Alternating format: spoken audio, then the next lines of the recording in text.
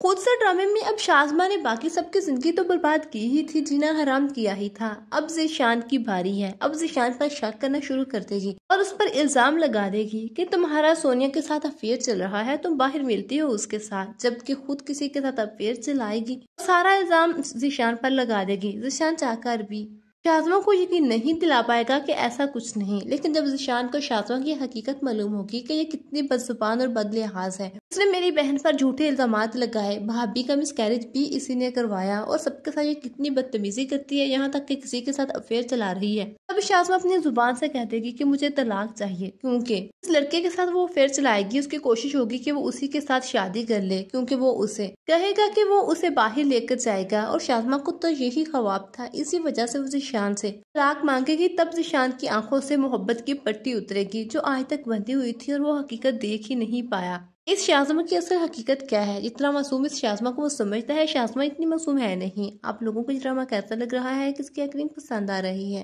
Comment section में हमें लाजमी बताइएगा और मजीद ड्रामा रिव्यूज़ के लिए चैनल को लाजमी सब्सक्राइब कर लीजिएगा।